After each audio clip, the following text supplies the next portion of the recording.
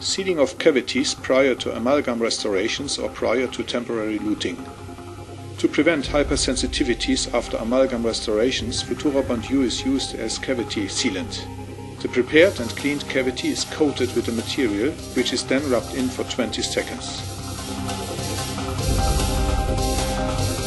Afterwards, the cavity is dried with dry, oil-free air to remove any solvents. The material must be light cured for 10 seconds to polymerize completely. Afterwards, the sealing is complete. After that, the amalgam restoration can follow. The material is placed into the cavity and modeled.